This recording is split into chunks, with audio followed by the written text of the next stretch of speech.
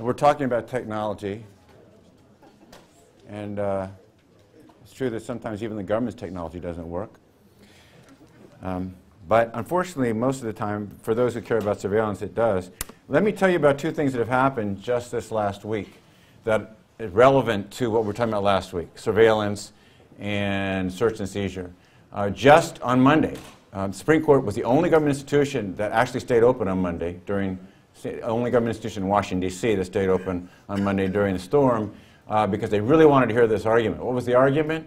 It was about whether people who are under surveillance by the National Security Agency and other anti-terrorist organizations um, have standing can challenge the statute under which the surveillance is being conducted.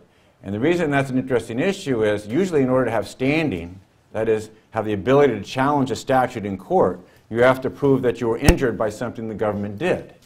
But these plaintiffs can't do that for sure because they don't know if the surveillance was being conducted of them or not, right? It's the NSA. We don't know what they're doing. Okay, so these plaintiffs are saying, we think we've been surveilled by the NSA. Why? Because we were calling lots of people overseas, including people connected with alleged terrorist organizations. So we think probably the NSA was conducting surveillance of us. We can't prove it because it's all, co all covert, but we think so. And the argument from the Supreme Court by the government is, well, if you can't prove you were under surveillance, then you don't have standing and you cannot challenge this statute. So sort of a catch-22 situation. We'll see what the Supreme Court says. I read the transcript of the, the oral arguments in front of the court on Monday, and even justices like Roberts, uh, were concerned about this, about the possibility there's a catch-22 here. And Roberts, Chief Justice Roberts tends to be relatively conservative, tends to be fairly pro-government, but even he seemed to be concerned about this issue. So it'll be interesting to see what the court ends up saying about this, whether anyone can ever have standing to challenge what the National Security Agency is doing. And obviously that's directly relevant to surveillance, which is what we are talking about last week. Another case that's going to come up very soon that also has to do with what we talked about last week is whether the government can use a dog to sniff for drugs inside your house. Now remember we talked about this last week, but the case I told you about last week was a dog sniffing luggage in an airport. And the court said that wasn't a search. Why? Because the dog only detects evidence of contraband. It's a contraband specific kind of device. Here we've got a dog, same kind of dog, sniffing a house as opposed to luggage. Should that make a difference? So let me tell you the facts. Police in Florida got a dog, one of these dogs, uh, drug sniffing dogs, and used it to sniff odors emanating from a house. In order to get the dog next to the house, they had to walk up the sidewalk with the dog, and at the front porch, they had the dog sniff the door, and then the dog also walked around the wall of the front of the house. Now, is that a search or not? You all know enough now to answer this one. What? No, not a search. Why? Because contraband specific device, dog just sniffing the odor of marijuana and it's outside. They're not going inside the house. Right, those are two good points by the prosecution, right? Uh, it's a contraband specific device and it's outside. However, someone just said trespass. Remember in the Jones case, the GPS case, the one case where the court said surveillance in public is a search, that involved putting a GPS device on the bumper of a car. And in that kind of case, where there's a quote-unquote trespass, even Justice Scalia was willing to say there was a search. What would be the argument by the defense here? That dog is trespassing on private property. And so therefore, if I were the defense, I'd cite Jones and say, yeah, a dog is a contraband-specific device. Generally, when you use a dog, it's not a search, because all it's doing is sniffing marijuana. But if you need to to effect a trespass. If you need to trespass on private property in order to get the dog to do its dirty work, this is the defense arguing, then uh, it's a search. That would be the argument. Now, would be, there'd be a counter-argument by the prosecution, even in light of Jones. It's a sidewalk. Very, you guys are great. Okay, it's a sidewalk. Now, granted, your sidewalk is your private property, but under trespass doctrine, a sidewalk is also seen as an invitation to trespass. Okay? Why do you have a sidewalk between, oh, you say no. Why do you have a sidewalk between the road and your front door? It's to have people come up to your front door. And so the argument would be yes, it's a technical trespass, but the dog and the police were invitees if they stayed on the sidewalk and the porch. Now, what if they go along the front of the house? You see how technical this gets? but also interesting it gets. And we'll see what happens with the Supreme Court arguments.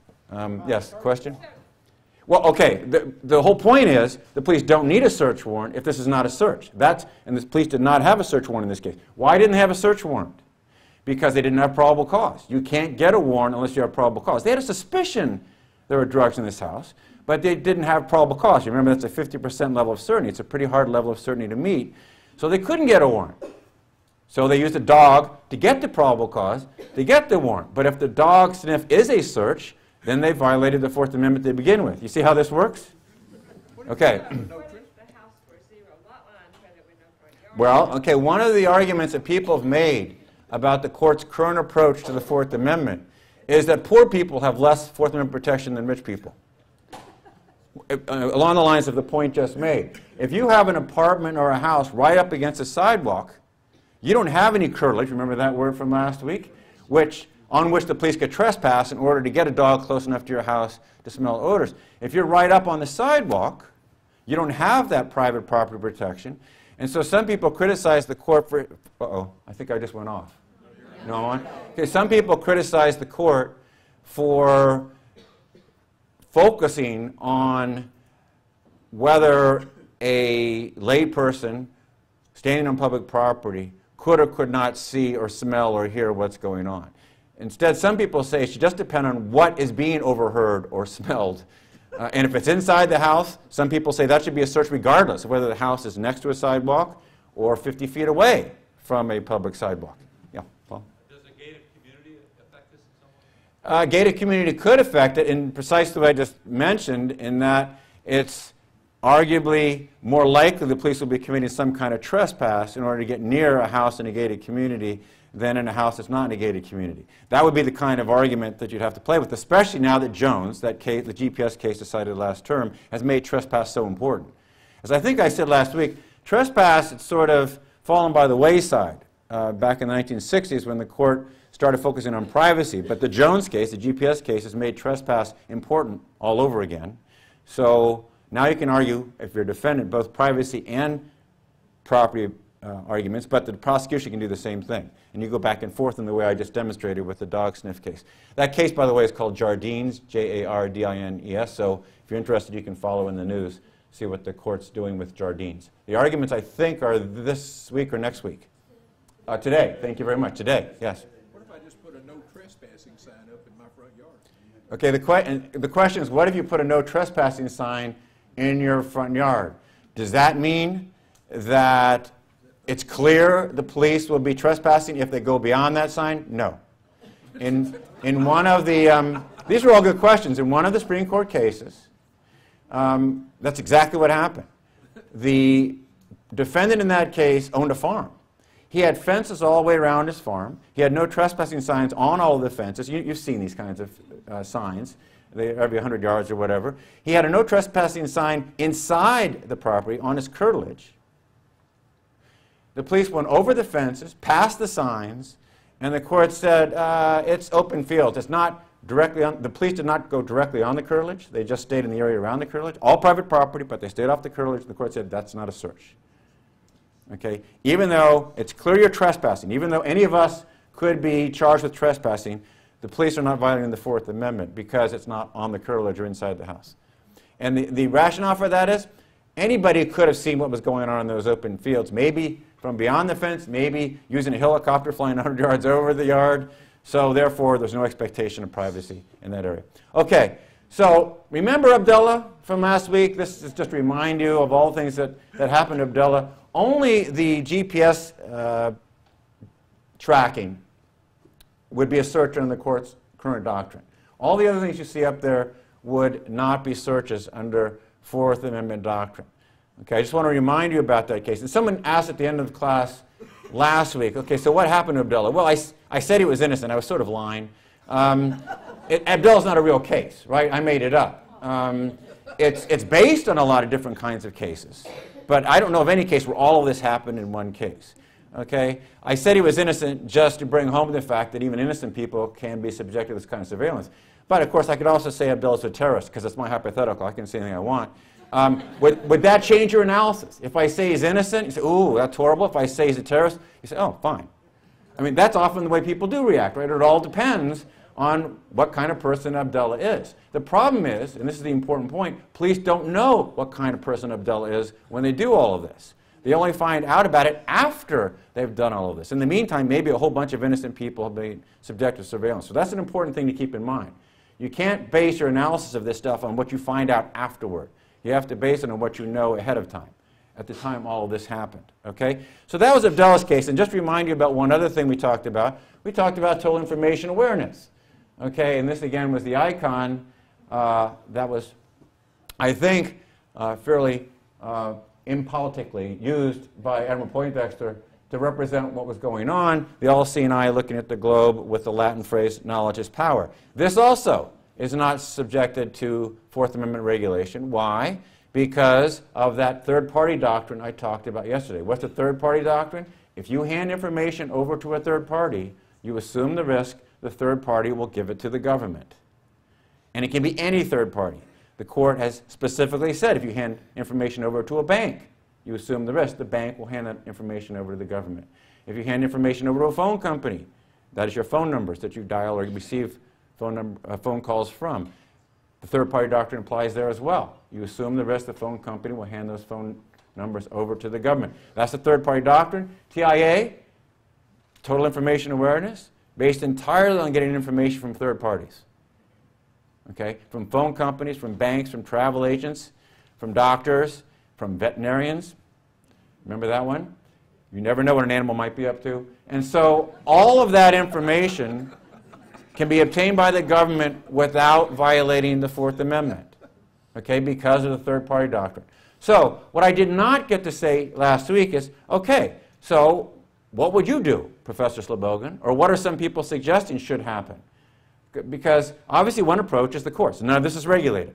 And a lot of people like that approach. And I talked about some of the reasons. If I'm not doing anything wrong, why should I care about this? It's covert. I might not even know they're conducting surveillance of me, so who cares? That would be one plausible, valid approach to all this. Another approach would be to require the government to have a warrant based on probable cause for all of this, for everything that happened in Abdullah's case, for everything that TIA does.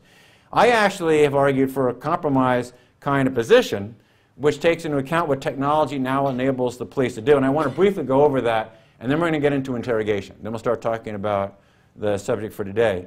Um, the first thing I do is change the definition of search. We've talked a lot about this word, right? The word search is incredibly important because if something's not a search, you not only do not need a warrant or probable cause, you don't need any justification as an officer. You don't need any justification whatsoever. You can do a non-search anytime you want to. Okay? If it is a search, on the other hand, typically the police need probable cause, and in a non-emergency situation, need a warrant in addition to probable cause. You need to get a warrant from a magistrate. So What's the current definition of search? We've talked about it. Whether there's an expectation of privacy that's reasonable that the police infringe. And you know how the courts define reasonable expectations of privacy, pretty narrowly. You don't have much of an expectation of privacy, especially in public, especially if you give information to a third party. How would I define search? What about this? Why not define search the way people define search? When you're looking for something. Duh. How about that one? Okay? Um, now, that's not the way the court's defined it. And some very good reasons why the court hasn't defined it this way. I don't want to act like the court's an idiot. It's not. But this would be one way of defining the word search. And it has the benefit of being the way most people would define search looking for something, examining something, looking through, uh, uh, through an item. So that would be the definition of search. What's the downside of this? Remember what current law says. If something's a search, the police need probable cause, that 50% level of certainty. That's a pretty high level of certainty. That would make very difficult, if not impossible, a lot of the stuff that happened in Abdullah's case. For instance, the tracking. Okay, if the police need probable cause to track someone, they might never be able to track anybody. Okay, or if they could track someone, they'd have enough cause to arrest them. And why, need to, why do you need to track them? Because you have probable cause for an arrest. So that's the downside of defining search the way I'm defining it, at least if when something's a search, you need probable cause. However, we can change current law. You don't have to say if it's a search, you always need probable cause, because in fact, all the Fourth Amendment requires is reasonableness. The Fourth Amendment does not say if it's a search, you need probable cause. If you remember the language of the Fourth Amendment, it says the government when it's conducting searches of houses, persons, papers, and effects, must do so in a reasonable manner. That's all the Fourth Amendment requires. So, with that in mind, one way of defining search in a targeted kind of situation where they're going after a particular individual, like Abdullah, is to say the government acts reasonably whenever it has justification that's proportionate to the level of intrusion. It's a proportionality idea. Now, what do I mean by that? Some specific examples. If it's a house they're going into, they do need probable cause, because that's the most private area that we have. Okay, your house is your private house, your, it's sacrosanct. So when the government wants to go inside your house or look for something inside your house, it needs probable cause. On the other hand, if it's tracking you in public, arguably that's not as intrusive as going inside your house. It is intrusive. It is finding out some information about you, but it's not as intrusive as going inside your house. At least I would argue that. So you shouldn't have to have probable cause. You should only have to have reasonable suspicion. Remember that phrase from last week? Probable cause is 50%, reasonable suspicion is below it. And if the tracking is not at all prolonged, it's just a couple of minutes, maybe you don't need anything. Maybe you don't need any kind of justification. That's the way the proportionality approach would work. It's just a suggestion. The court has played with this idea but hasn't entirely adopted. But it's just one way of possibly reconciling law enforcement's need for information using technology with the idea that we shouldn't allow the government to get information anytime it wants to without any justification whatsoever. Yeah, question? Yes, thank you. Here's what concerns me. I- If I recall correctly from last week, the case of Abdul- Abdullah, really the only, the only cause, quote unquote, was that his name was Abdullah. And he looked nervous. The two, the two factors, and we all look nervous when the police stop us on the street, right? Yeah, but right, he looked nervous and he had a Middle Eastern name. That's right. Okay, it might not even give you reasonable suspicion. And so it's conceivable that nothing, even under my regime, on my proportionality approach, which does not always require a probable cause, it's conceivable that what happened with Abdullah would not be permitted. That's right. Okay? There are a lot of cases, like the Jones case we've talked about now several times. The police tracked him for 28 days. Remember this from last week? They clearly did have reasonable suspicion. They probably didn't have probable cause, but they had reasonable suspicion to believe that he was up to no good. So tracking up to a certain point at least would have been allowed in the Jones case. But you're right, in the Abdullah case, maybe not at all. If all they had was Middle Eastern descent and nervousness, might not be enough. I will tell you that, uh, that for better or for worse, the Supreme Court has said that if you're the last one to get off an airplane and you look nervous, that's reasonable suspicion. We're not going to go into that. Though. I don't want to start off on a whole nother uh, sideline. Yeah, go ahead. Um, I'm a woman of color. I was at a red light, Mm-hmm. turned green, took a left-hand turn, police pulled me over. I don't think you could see that it was a woman of color, or whatever. Mm-hmm. I'm wondering, if it dawned on me till later, I was in a predominantly Latino community, so I, I, with this law of search and you have to break the law, I was going forty-four miles and a thirty-five. I didn't know. She was violating the law. She just admitted it. You heard it. It's on tape, by the way. Mm-hmm. You know, it's, I've taken that left turn many times, and I think at the same speed. So when you take this Arizona law or the Tennessee law, because I am not Latino, because I'm an American citizen, whatever, where does that put that?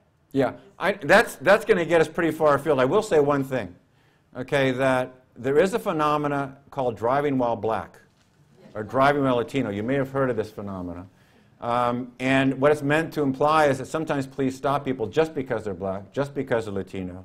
Now, does that mean they're, they're trumping up a reason to stop somebody? Not necessarily. Every one of us violates at least one traffic law every three blocks. I don't care how carefully you're driving. Okay, think about you probably don't know all the traffic laws the police can get you for. Obviously, there's speeding. There's failing to signal within a reasonable amount of time. If you don't start signaling uh, 35 or more feet before you turn, that's a violation. If you go over the median line, that's a violation. If you go over the uh, too close to the curb, that's a violation. If you weave at all, that's a violation. Driving at an unsafe speed is also a violation, even if you're under the speed limit, if the police consider it to be an unsafe speed. Obviously, driving without a seatbelt on can be a violation. Driving with a cell phone on or looking like you're using a cell phone is a violation. There are lots of ways the police can stop you. So the police can stop anyone they want to, pretty much any time they want to. given the wide breadth of traffic laws. And the argument is they use that discretion much more with respect to blacks and Latinos than with respect to white people. I don't want to say any more about that's a very good topic, but it really would get us pretty far afield from what I want to talk about. Last question, I want to move on. In your new test, Mm-hmm. you say police looking for something. Does the something have to be specified? Yeah, okay, good question. Does it something have to be evidence of crime or can it be just uh, something that might titillate the police? Okay, it would have to be evidence of crime. Okay? And that gets to the second point. There are two different kinds of searches. There's a targeted search of the kind involved in the Abdullah case, right? They're going after Abdullah, and that's where the proportionality principle would apply. But there's another kind of search. I think it's represented by TIA, Total Information Awareness. They're not targeting any particular person when they engage in all this data collection, all this data mining that's going on, right? They're collecting information about everybody. In the TIA's case, everybody in the entire country. Or the new fusion centers, everybody in the entire country. Their information is being collected. So it's, it's impossible to talk about probable cause or reasonable suspicion in those cases, right? Because you're, you're trying to get information about everybody. You don't have individualized suspicion with respect to any particular person. So one response to this would be, well, we can't do it then. If you don't have individualized suspicion, you can't do it. That's a perfectly valid response. A lot of people argue that. Another response is the other end of the spectrum. Allow it because of the third party doctrine. An intermediate approach is what I have up here on the screen. We allow it, but only if the relevant legislature authorizes it. So in TIA's case, since it's a federal program, Congress has to authorize it knowing exactly what TIA is going to do. And most importantly, Congress has to realize that TIA will apply to them and their family as well as everyone else in the country. And if they're willing to authorize it under those circumstances, then perhaps we ought to let the democratic process uh, go forward. Huh? It'll never pass. Well, remember what happened to TIA. It was defunded within two years, with the entire Congress voting against it. Because Congress looked at that icon and understood what was going on. But that would be the approach. And you can imagine some situations where the relevant legislature would authorize some kinds of general searches. So that's what I suggest in, in my book, um, this one. And I think it's one way of getting at this kind of stuff. But I want now to move on to the next topic. Um, we could talk about surveillance and search and seizure forever. Very interesting stuff. Um, but um, I want to get on to interrogation because this is the second most important method that the police use to get evidence of crime. Search and seizure is clearly the most important, but interrogation is also a very important method of getting information. You've all seen interrogations on TV, right? You've seen Law and Order. Um, you've seen The Closer, maybe. That's a show that's almost completely focused on interrogation process. Um, and you've um, seen it on various other TV shows. What you've seen is not entirely misleading, okay? TV can be very misleading as to what goes on. It's not entirely misleading, though. Sometimes police don't just ask questions. Did you do it? Here's the evidence we have against you. They do sometimes try to trick suspects. They lie to suspects. If, I don't know if any, how many have seen the closer, just out of curiosity? Okay, well, you know, she lied all the time, right? She lied to suspects. All, she was very effective. She almost always got her man or woman, but she did it usually through deception. Okay? And then sometimes, and police do do that. They lie fairly routinely during interrogation. So that part of the Closer is accurate. Sometimes police actually threaten individuals. If you don't, remember I talked about this the very first lecture we had. In death penalty cases, there have been some cases where the police have said to a person, you'll get the death penalty unless you confess. Now that's pretty rare, but it does happen. Sometimes there's even physical threats. And sometimes there's torture. How many of you have seen 24, that uh, Fox show? Well, you, you remember Jack Bauer. He used torture all the time. Now, of course, his justification was the world's about to blow up, and we need to find out how and why, so we need to engage in torture. Um, that is fairly unrealistic. Um, despite what you've heard, we, the, Ameri- the United States doesn't use torture all that often, but it has used it. In Abu Ghraib, among other places, it has used torture. So, the question we're going to be talking about today is when, if ever, are these questions that go beyond mere, these, these techniques that go beyond mere questioning, when, if ever, are those techniques okay? Is deception okay or not? More importantly, are threats okay? Is torture okay? When, if ever, are any of those techniques permissible? And what this gets us into are some very difficult issues. What is compulsion? When is a person coerced into talking? It's a very difficult philosophical issue. Philosophers have been dealing with it for centuries. We still don't have a good answer to that question. The courts are struggling with it on a more practical level. I'm going to tell you what the courts have been saying about that, but they're not doing a great job either of figuring out exactly when someone's compelled. Um, certainly, you're compelled if a person holds a gun to your head and says, Talk or I'll kill you. That's a pretty clear example of coercion, but that's not what the police do. They're much more subtle than that usually. Okay? the, the, the threats are much more subtle. Uh, there's usually no obvious physical force being used. So, in those situations, is it coercion or not? And what about trickery? What about deception? Can that ever be coercive? And if trickery isn't coercive, is it nonetheless something we shouldn't allow, at least if it's a real bad lie, if it's a real egregious lie? Like, for example, what if uh, a law enforcement agent goes into a room pretending he's an attorney, a defense attorney? Now, arguably, there's no coercion in that situation, right? Basically, the defendant thinks he's talking to his lawyer. He's not being coerced into talking in any way, shape, or form. There's no compulsion there. It's a totally voluntary exchange. But it is trickery. It's clearly deception. Should we allow it or shouldn't we? So those are the kinds of things we're going to be talking about, okay, in terms of interrogation. And I'm going to tell you a little bit, a fair amount about court doctrine. I'm going to actually name a number of cases. You're not going to be tested on the name, so don't worry about that. But I do feel the need to tell you about a number of Supreme Court cases that help define this area of when interrogation, what kinds of interrogation techniques are okay and what kinds are not.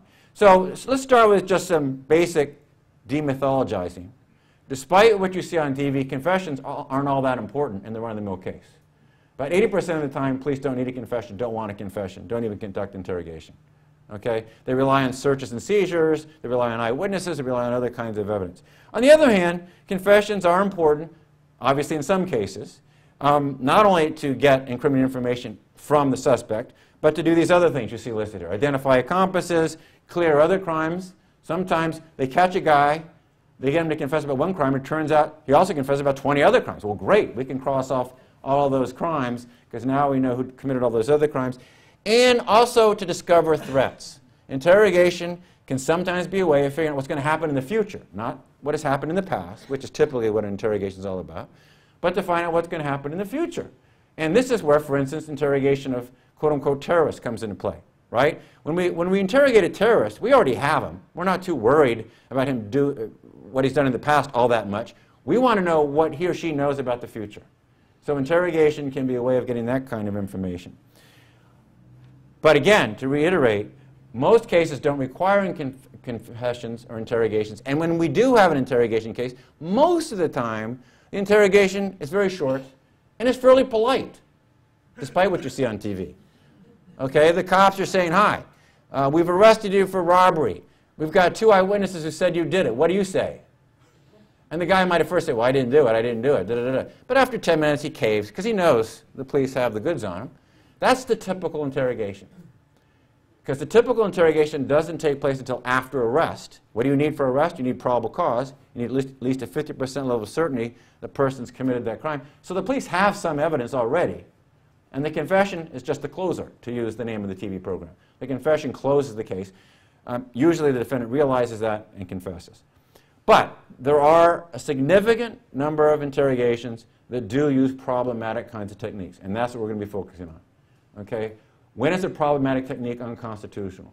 When is it permissible? When isn't it? Well, we regulate interrogations primarily through this idea that you've all heard about, the right to remain silent. Right? You've all heard of that. That's the, Miranda, the first Miranda warning. You have a right to remain silent. Where does this come from? Why in the world would we tell a criminal suspect, the first thing we tell a criminal suspect is, you don't have to talk to us? Does that make any sense whatsoever? He's the single most important source of information about the crime, and the first thing we say to him is, don't talk. How does that make any sense whatsoever? Europeans don't think it makes any sense. When you go watch a European trial, I've done this, I've been to France and Germany, I watched their trials, the very first person who testifies is guess who? The defendant. Does he have a right to say, I'm not talking to you, judges? No. He does not have a right to remain silent. Okay? Now, what happens if he refuses to talk? Obviously, you can refuse to talk. Do they torture you at that point? No. They don't torture you. But the judge will say, well, now, if you remain silent, we're going to use your silence against you. We're going to infer from your silence some bad stuff. They don't say it that way. They say it in French, for one thing, so it sounds a lot prettier. But um, that's what they say. They say, we can use your silence against you. So you don't really have a right to silence in France or Germany. And they can't believe that the first thing we tell our suspects is you have a right to silence. Plus, at trial, you probably know this, but in case you don't, the defendant never has to take the stand in the United States. That's totally different from what happens in Europe. You have to take the stand if you're a defendant in Europe. You don't have to take the stand here, and most defendants don't for all sorts of reasons, good and bad. Yes? So given that the American legal system has its derivations probably from the European, mm-hmm. why are? How did this happen? Okay, well, that segues right into my next point. Because the question was, since the American system presumably derives from Europe, after all, most of us, most of our an- an- ancestors came from Europe or somewhere near Europe, how come um, our legal system is so different? It's because we borrowed most of our law from England, not from France and Germany. France and Germany have what's called the continental system of criminal justice. England does not. England has the common law system of criminal justice. And one major attribute of the common law system of criminal justice is common law system hates inquisi- inquis- inquisitorial practices. England never had the Inquisition. France, Germany, and Spain all did. Okay? England wanted to avoid the Inquisition at all costs. So, how did that lead to a right to remain silent? What happened under the Inquisition? Very, very simply and somewhat inaccurately, I'm going to I'm to do this in a very um, short form. Basically, what happened during the Inquisition was a person was brought in without knowing why he or she was brought in and questioned by inquisitors from the church. And the person was told they had to swear an oath that anything they said would be the truth. And if they didn't swear that oath, they were immediately branded a heretic, taken out, and burned at the stake. If they did swear the oath, then anything they said that in any way contradicted what anyone else had said, or that in any way sounded anti religious, or in any other way offended the inquisitors, they were also taken out to the square and burned at the stake. It wasn't quite a catch 22, but it came very close to it. Okay? And the same thing happened in Europe with respect to treason trials. Moving away from the ecclesiastical, religious based uh, in- inquisition to what happened when kings started to accrete power, taking over the feudal system. What kings didn't like, uh, what they hated most of all, was treason. And what you saw were a lot of trials in which people were charged with treason. And if they remained silent, what would happen? They were traitors and they were executed. If they didn't remain silent, they might escape liability. Sir Walter Raleigh did.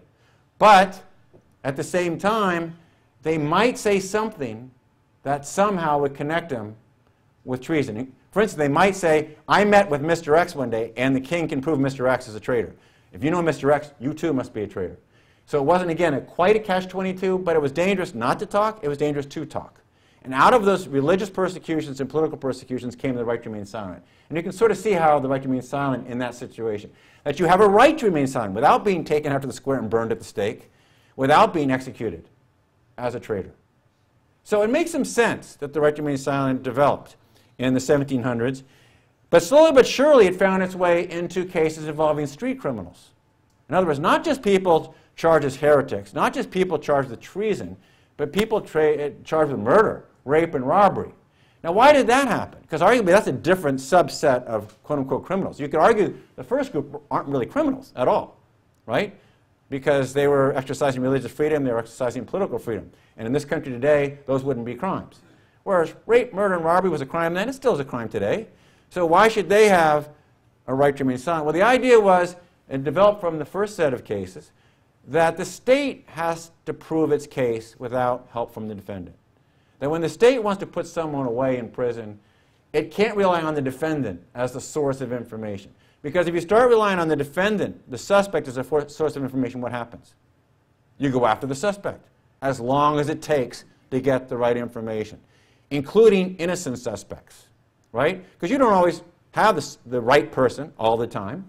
But if you're allowed to use the suspect as, if your as your most important source of information, what are you going to do as a cop? Why go out and search and seize? Why go out and find eyewitnesses? Why do anything other than just put the suspect in a room and question him until he confesses? And that's what happened, even in cases of murder, rape, and robbery, and sometimes innocent people ended up being convicted as a result.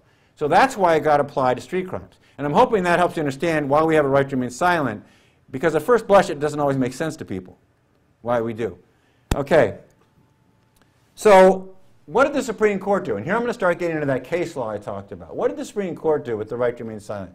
Well, for a while, it just looked at whether it, uh, the court just looked at whether the interrogation seemed to be coercive. It dealt with a whole bunch of cases in the 30s, 40s, 50s, and 60s. So what are some of those cases? In the Brown case, very famous case um, out of Alabama, a lot of these cases are out of the South, once again, um, where the police strung up three black defendants by their thumbs and beat them until they confessed. The Supreme Court said, you know what? We don't like that. Uh, that's coercion. Um, now, the state argued the confessions were reliable. They were accurate. And the court said, we don't care if these confessions were accurate or not. Police can't do this kind of thing in the United States. That was a violation of the Constitution, the court said. So that was a pretty clear case of coercion, right? That's not a hard one. Even philosophers can get behind that one as coercive.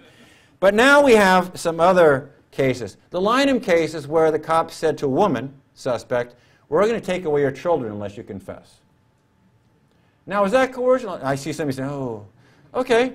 So maybe it is. Maybe most of you would say that's coercive. But it's not physical threat. It's not what they did in Brown. So we see a slight movement away from the obvious case of coercion. Then we get the Spano case. What happened here? A cop came in to do the interrogation. He happened to know the suspect Happened to know the suspect. That happens, right? Sometimes cops know the people they arrest. And he said, you know what, I'm going to lose my job unless you confess. Is that coercion? Not to him, okay? So, uh, interesting little twist on the facts, okay? And then in the Leyra case, a psychiatrist came in to the room, and his main goal was to get a confession. But what did he say to the suspect? I'm here to help you. I'm a psychiatrist. Some people are opening their mouths. But is that coercion? Okay, so that just get, the court, by the way, said all these confessions should be inadmissible. Inadmissible. Okay, all those cases were a violation of the Constitution. But you'll see the court sort of changed its tune in more modern times with respect to some of these techniques. The court got really tired of looking at case after case after case, looking at all the specific facts, it got very tiresome for the court to have to deal with all this. So what the court decided it wanted to do was come up with what it called a bright line rule that would tell the police what they can and cannot do during interrogation. And thus we get Miranda. Because what does Miranda say? It's not enough to do a case-by-case analysis to see if, in fact, there was coercion or not. The police have to give the famous warnings to the suspect. If the warnings are not given, the statement's inadmissible. We don't care what the police did. They could have been polite as people at a Sunday tea. It doesn't matter. If the warnings were not given, the confession is inadmissible. If the warnings are given, the person is told they have a right to remain silent and they have a right to counsel, etc., etc., then we're still not sure the statements will be admissible. We have to make sure that there wasn't any coercion or cajolery. That's arguably a broader concept than coercion, right? Cajolery. It's what you do with your kids when you don't want to hurt them, you say, well, come on, let's do it. That's cajolery. And then there's also trickery that the Miranda court prohibited. So Miranda said, don't give warnings, statement doesn't get in. Do give warnings, statement still doesn't get in unless the state can show no coercion, no cajolery, no trickery. That was Miranda.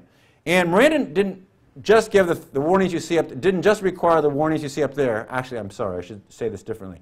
Miranda only required the warnings that you see in that first bullet but the Miranda court also said that suspects have the right to cut off question at any time by asserting their right to counsel or silence. So in other words, if the person does start talking after the warning, says, yeah, I'm, re I'm ready to talk to you, but then five minutes into it says, I want to stop, I want my lawyer, I want to stay silent, the police have to stop. Now that's not a warning that's specifically given to people, but it is a right that Miranda gives people.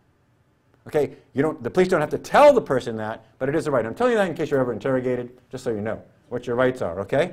Now you know, you can cut off, even if you start talking, you can cut off the questioning anytime you want to by asking for counsel or saying, I just don't want to talk.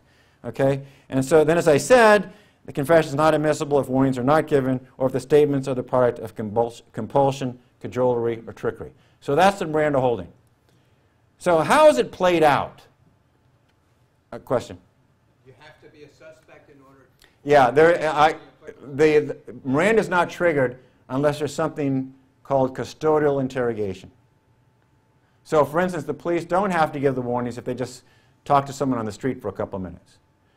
But if the person's arrested or something akin to an arrest, that is, you're not formally arrested, but you got three cops with guns pointing at you, that would also be a situation where Miranda has to be given. Then you have to give Miranda warnings. Does that answer your question? Okay. Okay. So, what has the Supreme Court said about uh, Miranda? The Supreme Court's been fairly hostile to Miranda, especially in the last 20 years. Um, it has interpreted Miranda in a very narrow way.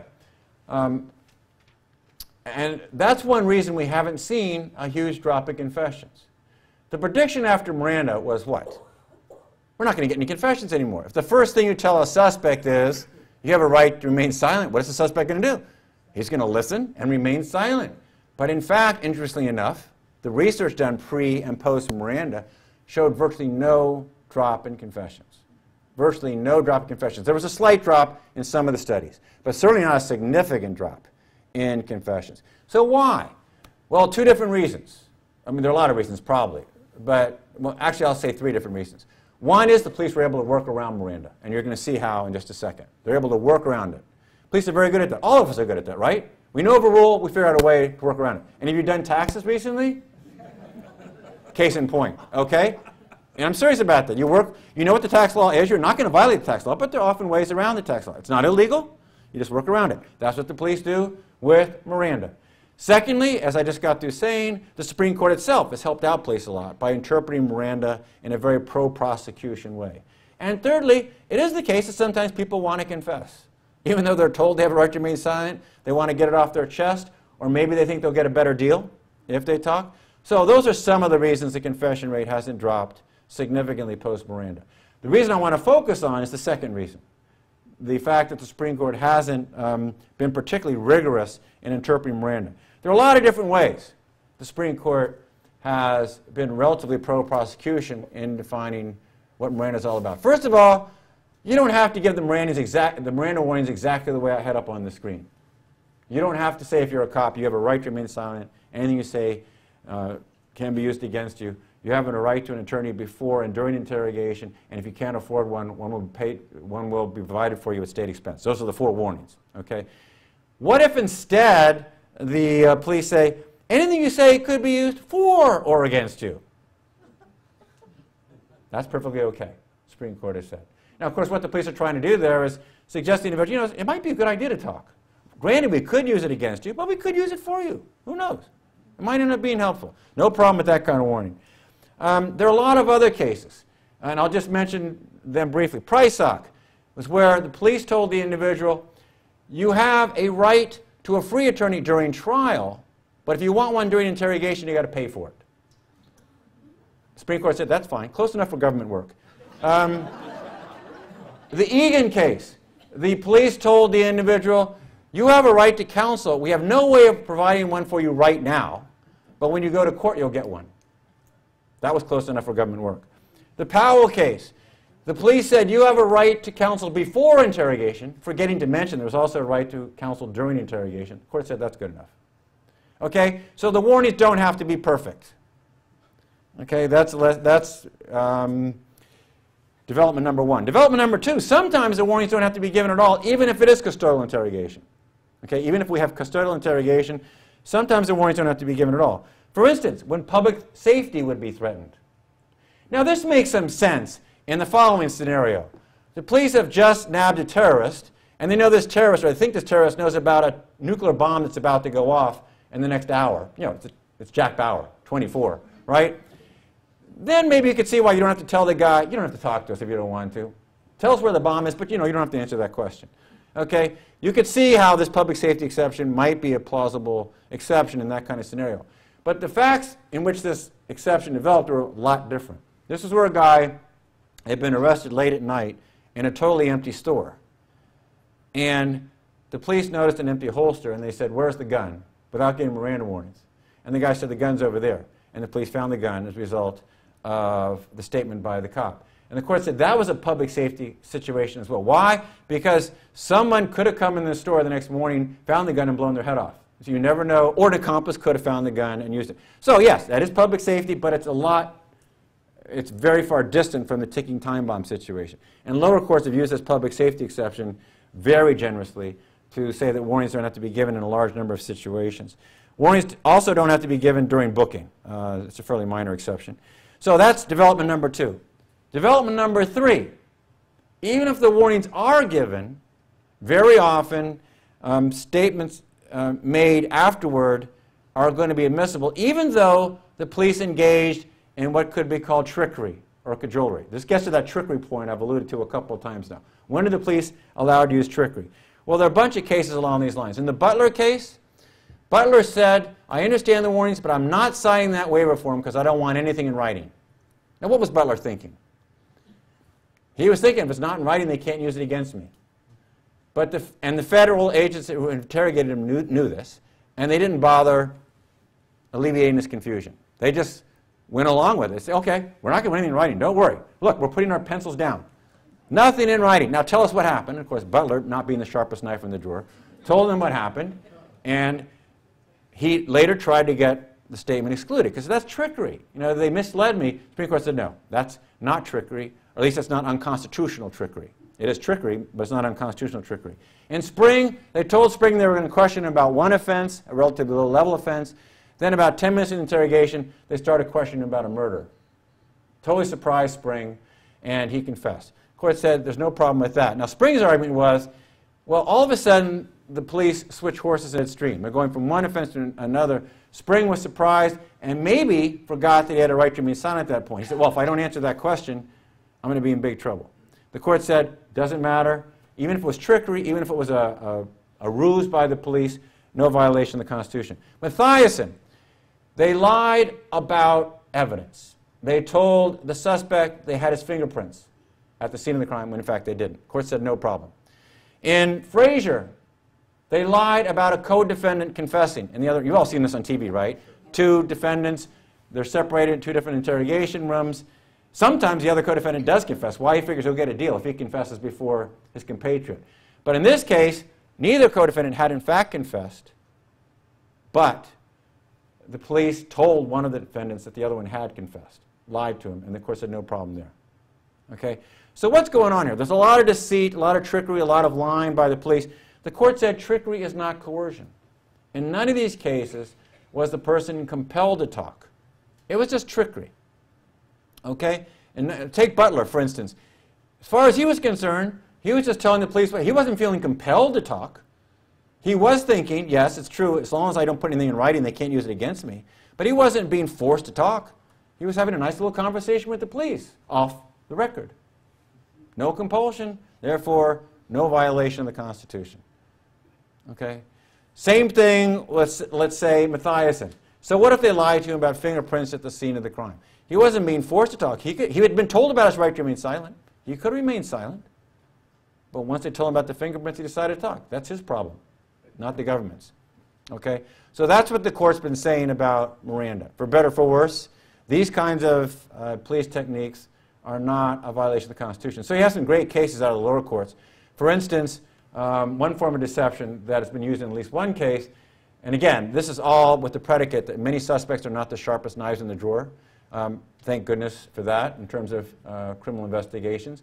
So they hooked the suspect up to a Xerox machine. Okay? But of course, they told him it was a lie detection machine. And they had two pieces of paper in the machine. One piece of paper said yes, one piece of paper said no. Right? Okay? And so they asked him his name, and he gave the correct name, and they took out the. Yes. So you're telling the truth there. He said, okay, did you commit the crime of armed robbery on April 2nd? He said, of course I didn't. And, and then when they said, they asked the machine, because this was a talking lie detection machine, was that true or false? They brought the piece of paper? No. Okay? The guy figured, oh, they got me and confessed. Okay? There was also one case where the police convinced a person they had an eye print machine. You, you know about fingerprints. Well, this was an eye print machine. It can take the image off your eyeball, anything you've seen in the last 24 hours, and figure out what you were doing. So they convinced the suspect they had this kind of machine, and he confessed. Now, is there any compulsion there? Or is it just garden variety trickery? Again, it's very creative trickery.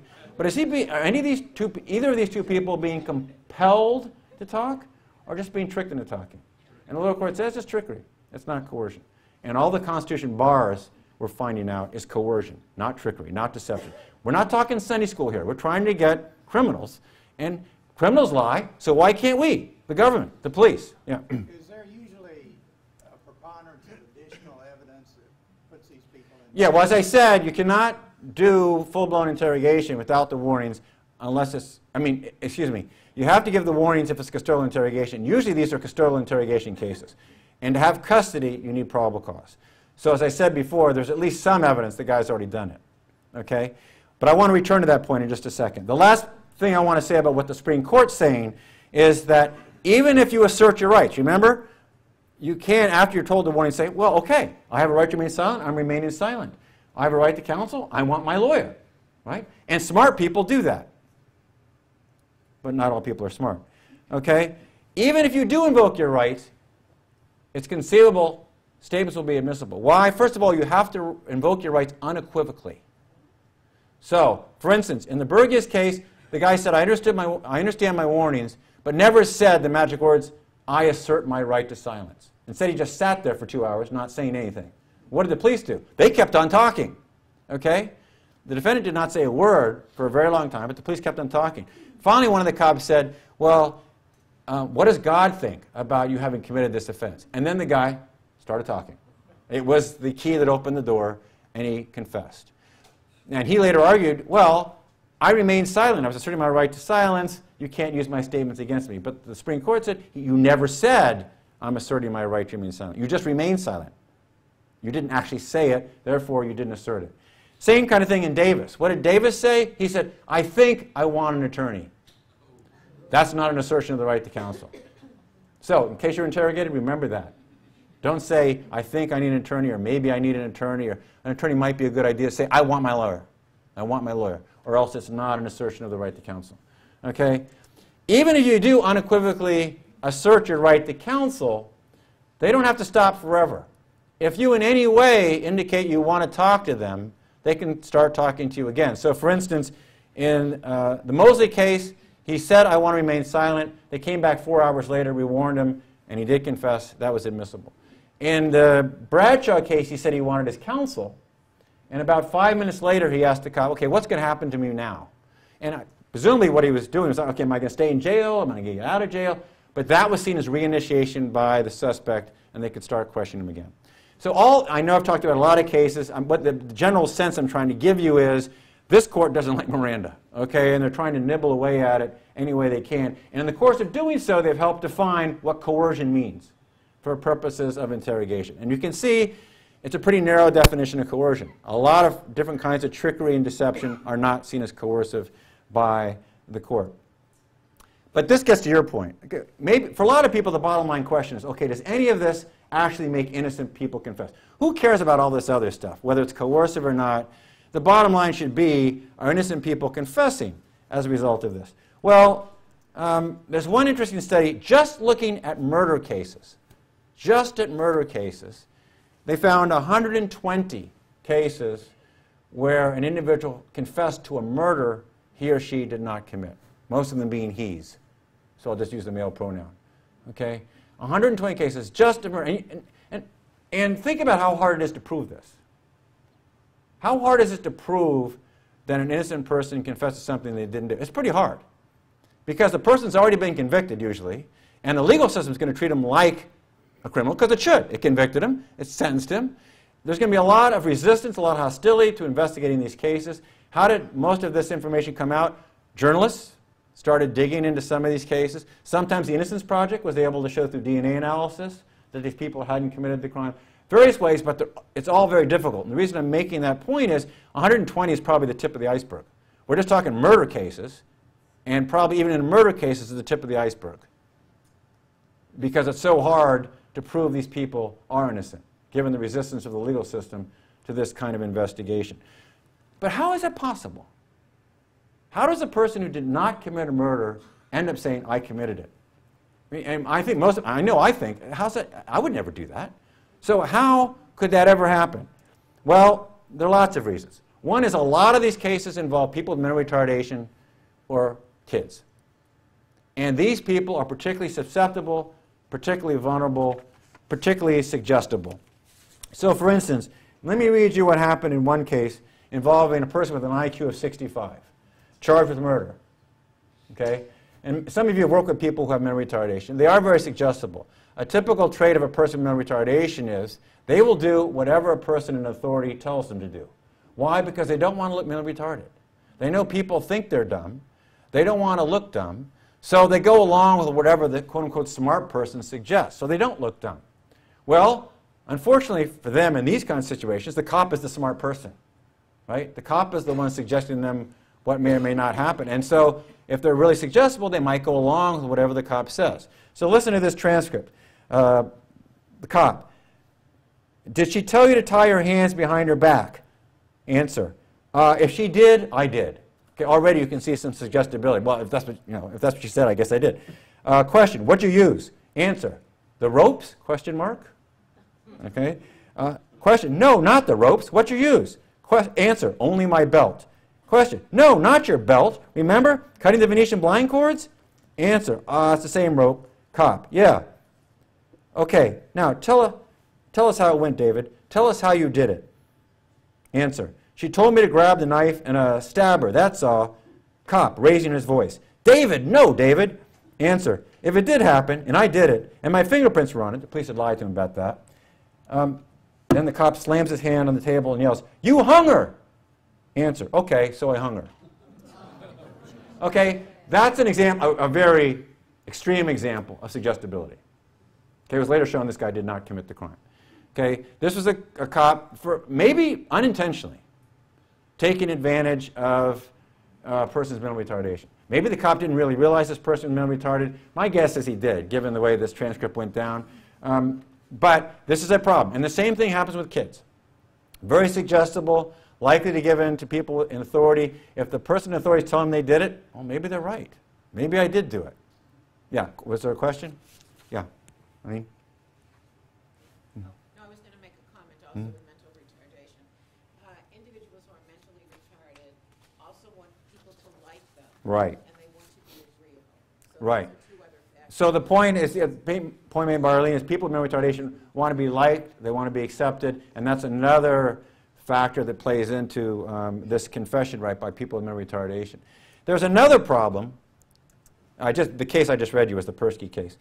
Um, people with low IQs and kids, both children, don't understand the Miranda warnings.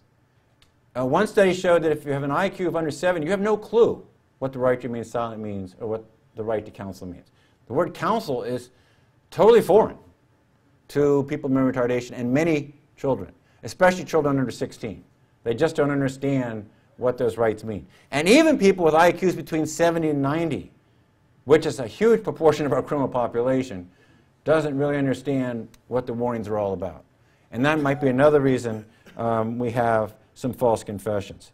But there are also false confessions from people who are not mentally retarded and people who are not under 18 years of age. Why do those people falsely confess? It's a very interesting question. Um, one reason is a lot of people don't understand what the right to silence means. Yes, you are told, even if you're college educated, by the way, this is what one study found. Even college educated people think that if you remain silent, your silence will be used against you.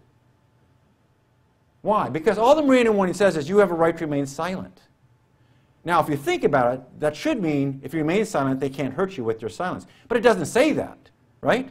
Did all, did all of you know that? That your silence cannot be used against you? You know you have a right to silence. You know you can stay silent. But what's the consequence of staying silent? What the Miranda warning arguably should say, given this kind of research, you have a right to silence. And if you decide to stay silent, you're, you're silent, your silence may not be used against you. That would make it crystal clear what the right to silence means. But a lot of people don't understand that, including college educated people don't understand that. So they start talking, and the talking sometimes gets them into trouble. But you might still say, oh, but they're not going to confess to something they didn't do. Well, what happens when you start talking? You start placing yourself at the scene of the crime. when the crime happened. You start mentioning people who were involved in the crime. I mean, the police presumably picked you up for a reason, right? They have some probable cause to believe you did it. But that doesn't mean you did do it. It might be you would just happen to be at the scene of the crime at the time the crime is committed, or you happen to know people who committed the crime, et cetera, et cetera, et cetera. But if you start putting yourself by your own words at the scene of the crime, or saying that you know a person who in fact did commit the crime, that can be inculpatory and can end up leading to a confession, not directly, not saying I did the crime, but indirectly. And then also there's some people, and this gets to the second point. There's some people who are not disabled and not under the age of 18 who nonetheless confess to crimes they didn't commit because what are called maximization and minimization techniques. Now, I've already talked about a lot of these techniques. These are techniques the court has said are, is, are okay. Mm-hmm. So, for instance, one technique is called the pretended friend technique. And it's like the Leyra case. Remember, that was the one where the psychiatrist came into the interrogation room and said, I'm here to help you. Well, the Supreme Court back in the 50s struck that down. But there are a lot of lower court cases today which say that's perfectly okay. So remember I said the courts sort of changed their tune? Nowadays, if the police use this pretended friend technique, the courts say it's okay. Why? It's not coercive. It's just trickery. When the suspect confesses, what does he think he's doing? He's just having a, he's having a conversation with his best buddy, with his friend, the cop. There's one uh, transcript where a cop over and over again says, I'm your brother. I'm your friend. We can get through this together. If you just tell me what happened, we can get through this together. That was his motif throughout the entire interrogation. Okay? Clearly a lie. This cop wanted the confession, wanted to hurt him, not help him. But the lower court didn't care because it's not coercive. It's just trickery. It's just when the suspect talks, he just thinks he's talking to his best buddy. Okay? This is a minimization kind of technique, minimizing the situation. Another way minimizing the situation, you're not really responsible for this. Okay? You probably did it because you were angry, or because maybe you were crazy, or maybe you'd done some drugs or, or drank at the time. So you're not really responsible for this. Just tell us what happened, and, and we'll, you know, we'll get the relevant help. Once again, that's not coercion. It's just deception. Okay? So there's a very interesting study by, done by Russano involving college students, so non-disabled people, people not under the age of 18, okay, well-educated people. What she did is she lied to these people, okay, ironically. Russano lied to the people in her study. She, eh, she told them her study was a study of group versus individual decision making, okay, a study of whether people make better decisions in groups or as individuals. So she got a lot of college students to sign up for this study. Then she put each of these college students alone in a room with one other person, a confederate of Russano. Okay? And then they were to answer questions divided into two different types of questions. One type of question you answer individually, by yourself. The other kind of question you're supposed to pair up uh, as a couple, decide what the right answer is. And that was the way they were going to test this group versus individual decision-making process. However, the Confederates of Russano tried to get the college student to cheat. How? The Confederate told the college student, for a question that was supposed to be answered individually, let's answer this together. Okay? Okay, the question was supposed to be answered, in is one of the questions that was supposed to be answered individually, and the Confederate tried to get the college student to answer it as a couple. You understand what I'm saying? So some of the college students caved. They cheated. Other college students didn't. They refused. So what Russano created was a group of guilty people, people who cheated, and a group of innocent people, people who did not cheat. Right? You got me so far? Very clever study. She, she, did, she, because it's very hard to do this kind of stuff in real life, right? Um, you lie to a person who's actually charged with the crime and see if they confess or not. That, there are lots of ethical problems with that. So she's trying to do it in the laboratory. She created a group of guilty people and innocent people. And then what she did is she confronted both the innocent group and the guilty group with one of three different police techniques. Maximization technique, minimization technique of the type I was just describing, or no technique whatsoever. Just a simple question, did you cheat or not? Okay? And what she found was that 18% of the innocent college students, the college students who did not cheat, confessed when they were subjected to the maximization and minimization techniques. Totally innocent people, no confusion about whether they cheated or not, and they confessed anyway. Now, what's going on there? Well, you could say, hey, it's just a laboratory study. The college students are thinking to themselves, who cares? And that might be right because, interestingly enough, 6% of the innocent people confessed even when they were not subjected to any technique. Or just asked the question, did you cheat? Said, yeah. when they didn't. So that is a problem with the study. But still, the confession rate is a lot higher for the innocent people who are subjected to the maximization and minimization techniques as opposed to the no technique condition. So I'm just offering that as an interesting study suggesting how these techniques might get an innocent person to confess. I will also point out that the confession rate for guilty people skyrocketed when they were subjected to te techniques. So that's also interesting. These techniques are effective. That's why police use them. Guilty people confess more often when they're subjected to maximization and minimization techniques. So it's a trade-off, right? We're going to get more guilty people to confess, but we also might get some more innocent people to confess. So what do we want to do? Um, the last point, and this is probably the most important one. Why do innocent people confess? They're subjected to very long interrogations. Some of the TV shows show this. The, the research shows if you're, if you're subjected to an interrogation longer than six hours, chances are you're going to confess. Even if they're giving you food and water during the interrogation. Why? You're just getting tired. They're not going to let me out of here, is what you're thinking. I'm never getting out of here unless I tell them what they want, so I'll tell them what they want. Usually, what happens after these interrogations are over, the person um, recants immediately. Says, I didn't mean that. But confession's on the record now, and it's too late. Okay? So that's another reason non disabled adult people sometimes confess. Yeah? Are you saying that innocent people confess after? So, some of the exonerated people are people who confessed during prolonged interrogation, immediately recanted after the interrogation, but nonetheless were convicted. Why? The cops have a confession. The prosecutor has a confession. They already had probable cause to believe this is the person. It's sometimes what, what uh, social scientists call this is tunnel vision. And all of us have it, not just the cops, not just prosecutors. You get a theory of the case and you don't budge from it. Contrary evidence does not budge you. Why? You're sure this is right. I mean, think about yourselves. That's probably happened to you, right? You get committed to a certain course of action, a certain theory of what's going on. Uh, you, you believe kid number one as opposed to kid number two did it. And so you're committed to that particular theory, and it's very hard to budge off the dime, especially once you get a confession. Right? It's why the police go after this person. They think they've got the right guy. It's why the prosecutor continues to go after the person, even after he recants. Because after all, lots of guilty people recant too. So what if there's a recantation? That doesn't mean he's innocent, right? So that's another reason innocent people might confess, is because the police overdo it in terms of how they conduct the interrogation. And that, of course, gets us to this, which is what I'm going to end with. Okay, when, if ever, is torture allowed? You could say an interrogation that goes over six hours is torture, at least for some people, right? But is it? And that, of course, raises the first question.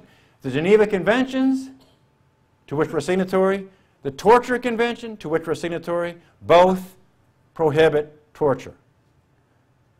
The $64 million question is, what is torture? And even if we are committing torture, are there exceptions to the Geneva Conventions, which apply to enemy combatants, or the Torture Convention, which applies to everyone? Okay? So what is torture? Well, the U.S. Army Manual describes torture or degrading treatment uh, as, among other things, forcing a person to stand naked or engage in sex, beating or shocking, deprivation of necessary food and water. Now, is all of that torture, or is it just degrading treatment? Army Manual isn't entirely clear. This, by the way, is the U.S. Army Manual. It's the manual that supposedly applies to interrogation during wartime.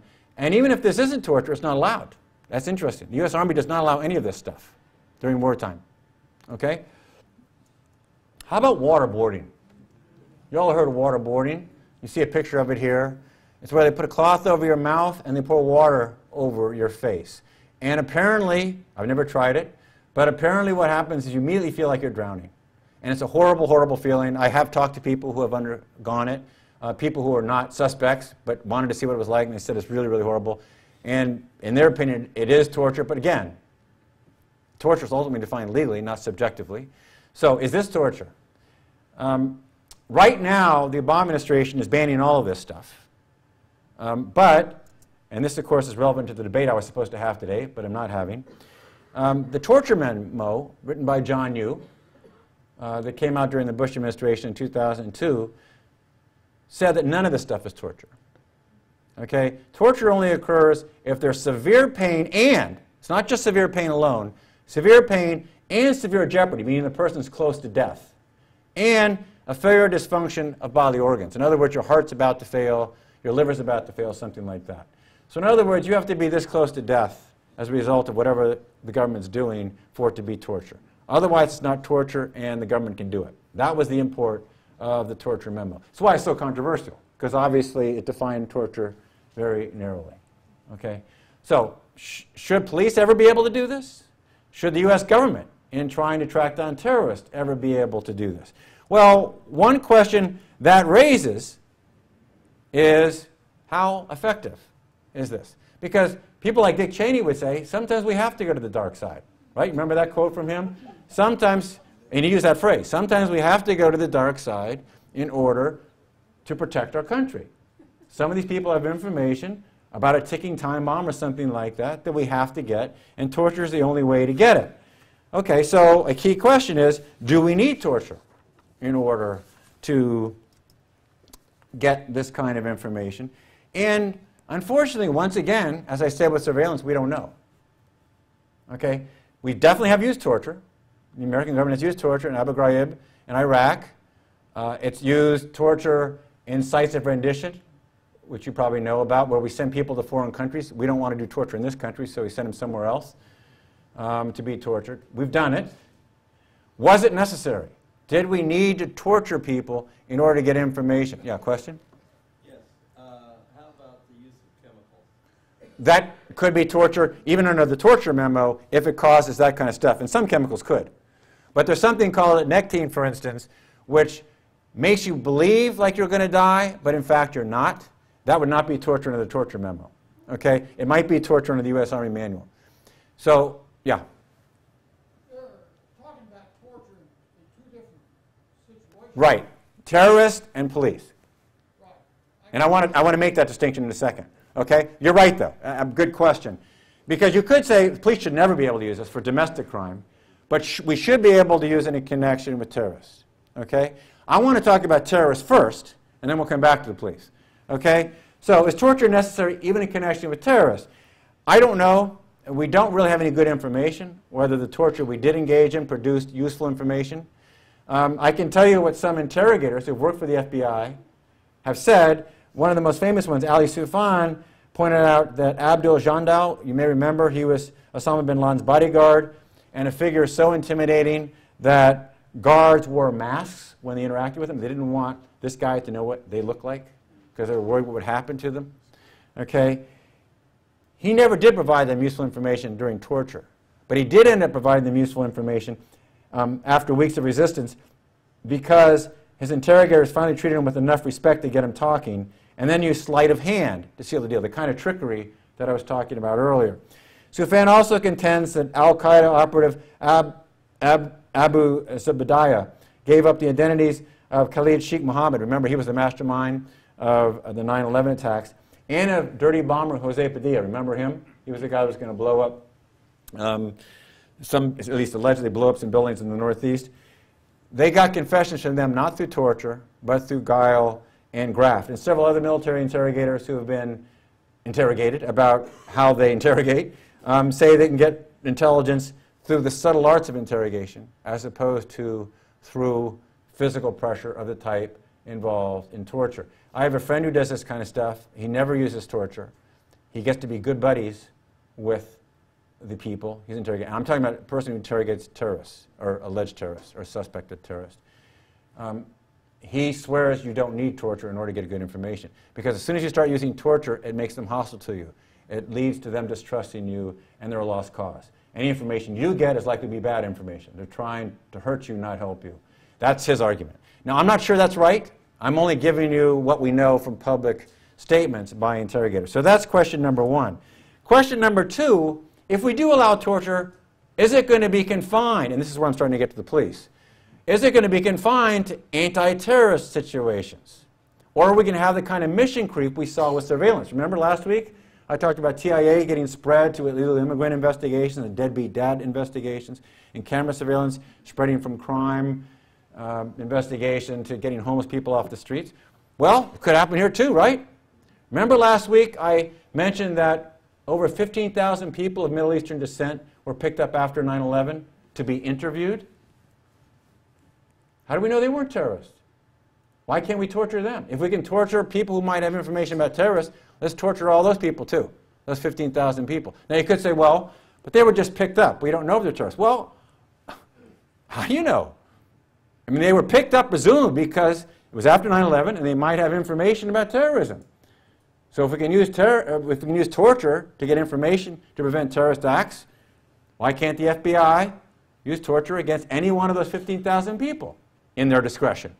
That's the possible concern of mission creep. I'm not saying the FBI did. I don't think the FBI did, by the way. I'm just saying that's a concern. If you authorize torture, it might start spreading beyond what we think of as a classic example of Abu Zubaydah being interrogated using torture to some other people who are not so clearly masterminds of terrorist activity. Yeah.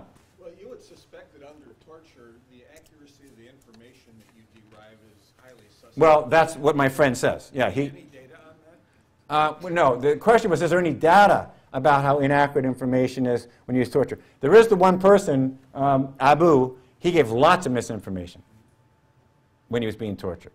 Um, my guess is he would have given lots of information even when he wasn't being tortured. Okay, he was trying to muck around with us. But eventually, through this pretended friend technique, they ended up getting good information from him.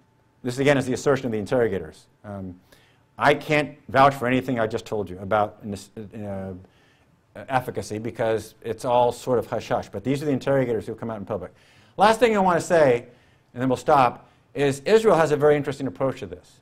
It absolutely bans torture, defined pretty broadly.